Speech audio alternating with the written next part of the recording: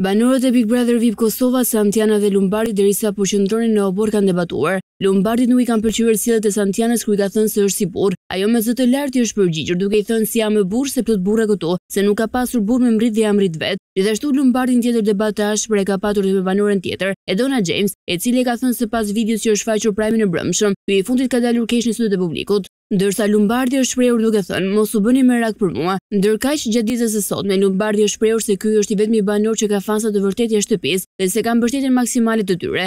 Madje banorët e tjerë duhet të ndihen të rrezikuar se mos do të eliminohen nga shtëpia, pasi ky i fundit është banori më i fortë brenda spektaklit. Lumbardhi gjatë prajmit të mbrëmshëm e gjeti veten në një situatë të pazakontë për sa i përket marrëdhënies së tij me dy vajzat, Albin dhe Kaderin, banoret me të cilat ka qëndruar më shumë brenda shtëpisë. Lidhur me Kaderin, Lumbardhi është shprehur se ka pëlqim, madje gjatë një bisede me të, Lumi i ka thënë se ka dëshirë që të qëndrojnë më tepër kohë së bashku, ndërsa këtë situatë mes Lumbardhit, Kaderit dhe saj, Albi u shpreh se është veçse një manipulim nga ana e tij, pasi që me hyrjen e Kaderit, Lumbardhi e hodhi poshtë menjëherë. Se si do të shkojë situata mes tyre dhe a do të ketë një lidhje mes Lumbardhit dhe Kaderit apo një krisje miqësie mes Lumbardhit dhe Albit, kjo mbetet të shihet në vazhdim.